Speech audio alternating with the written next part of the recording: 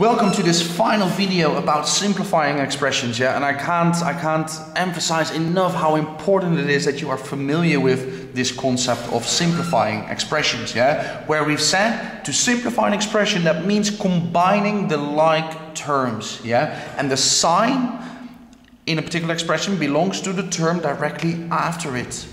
And we also said that the combination of letters is important. Okay, so I have four final uh, example questions, basically showing all of this, uh, all of what I've just said. Okay, let's have a go. 5x squared plus y squared minus 3x, did I say x squared? Again, sorry guys. 5x squared plus y squared minus 3x squared plus x, okay? And I have to simplify the expression. So I have to find the like terms. So this is a term with the variable x squared, okay? Do I have another term with the variable x squared? And indeed, over there. So I'm going to put a box around 5x squared minus 3x squared. Yeah, not plus. No, the plus belongs to the y squared. Yeah, it's minus 3x squared. What about that x? Are they like terms?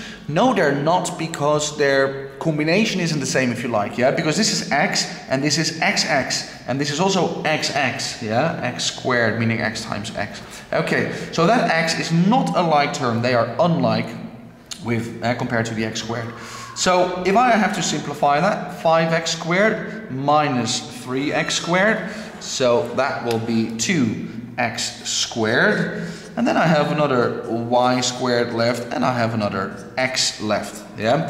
Please note that you can do this in any combination. You could also say yx squared plus x plus 2x squared. Yeah. Whatever. Okay.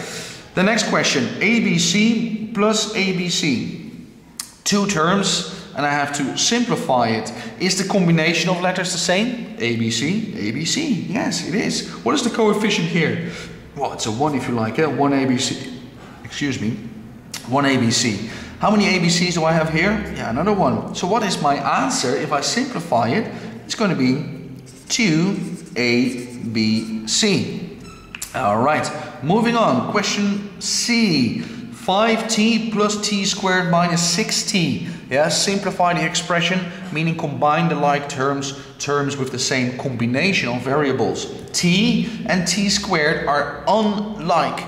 I need another term with a t, which I have over there. Yeah, so if I box it, I have 5t, take away 6t. Yeah, the positive again belongs to the t squared, 5t, take away 6t, that will be minus t. And then I have another t squared, and they are unlike because this combination is not the same. That is a t and that is a tt, yeah? t to the power 2. So the power also has to be the same for them to be like terms.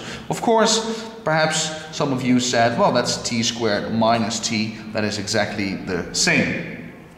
Last but not least, question D, 7x minus x squared plus xy. Do I have any like terms? Well, I have an x here, but that is an x squared, so xx, so those are not like terms, and that is xy. And I don't have any other term with xy either, so I can't simplify this expression any further. That is already the simplest form. Fantastic, hopefully that was useful, okay? Like this video and share it if it was. And you can find me on my site explainingmaths.com uh, and you can ask me your question. You will find more free resources and uh, yeah, I hope to see you there one day. See you later. Bye-bye.